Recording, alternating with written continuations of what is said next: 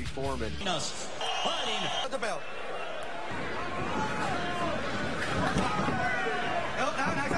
Think we didn't have room for a straight out robbery. All three judges said he can, you know, he's supposed to be an undefeated. Very confident they won that fight. And Canelo again. You can forget that.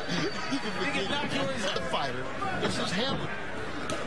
It's a tough place to be in. Have to do is just outweight them, continue his guys, and unfortunately he has. Go up and down the scale to find that big fight.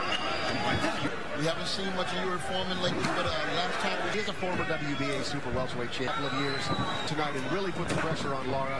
We'll find out as round. by doing something that no one thinks you can do. Well, we talked about how he's had a significant. So he spent six years dedicating his life to that. He was finally. That instantly pushed me. So yes, it is. Let's just go for it. My champion be over with. Yeah. He'll be You're a champion. Pressed to winning the seat. For for Lara. Had to go with Erislandy Lara. He was the dictator. Happened later in the fight in that first round. Get a guy out of there like Yuri Foreman, who we haven't got, and stop him inside the distance. When we saw him last in PBC against Delvin Rodriguez, wipeout isn't strong enough for the final bell. Delvin Rodriguez was in it till the end. Beautiful straight. Really active with that left hand.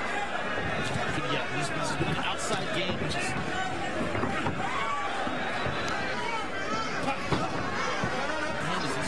judicious with it. He doesn't have time landed. Erislandy Lara has a large fan base here tonight. Obviously, that fight and tonight, crowd really behind him.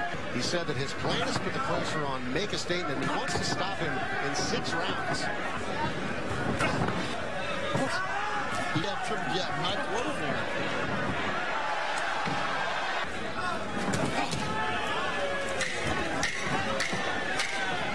result of a punch, he lands a couple punches. Nothing super clean. Nice left hand, but look at it here, dragging the Weight champion. Uh, Lara in control right now. knock guys out and become more of a finisher.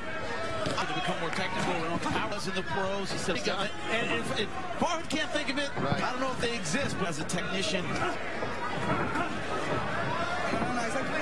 always doesn't matter. Night or day. Think on it for a while. Called you back about an hour and a half later, and then sure enough, you only more with, with solid power shots. Around like he did when he was 130 pounds. That was definitely knockdowns. Lara caught him coming in. And Foreman is hurt bad. This could be the end. That'll do it, ladies and gentlemen. The champ. Referee just told us he got he counted 10. And you know what was so devastating about that punch? It was hidden. He punch coming. He Look how he catches Yuri Foreman fully extended. The action perfectly timed. Coming in and rips him with an uppercut and